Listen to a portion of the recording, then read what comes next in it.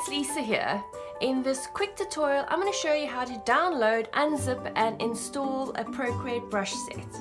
So I'm just going to use one of my free brushes from the Treasure Trove, which is the Forest Friends and Texture brushes. And I'm just going to hit download.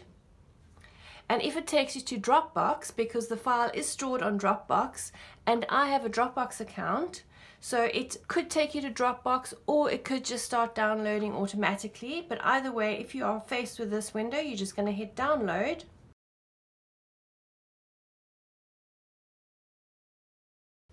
And then I'm going to hit downloads, which takes me directly to the downloads folder on my files app. So the files app, if I just come out of that, will be this icon.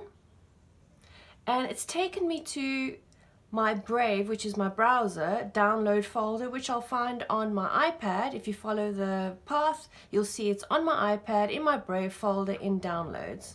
So if you can't locate something you've downloaded from your browser, it'll be on your iPad and then you're just going to locate your browser and find the downloads folder. If you've downloaded to your Dropbox, you need to make sure that you've downloaded to your iPad first. So if you have a cloud icon, that means it still needs to be downloaded to your iPad.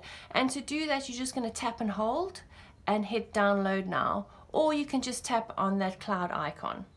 So I've already downloaded directly to my iPad.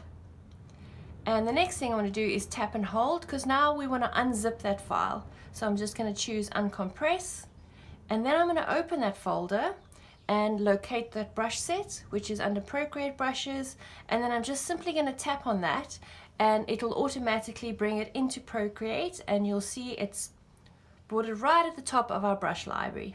I hope that was helpful and happy creating!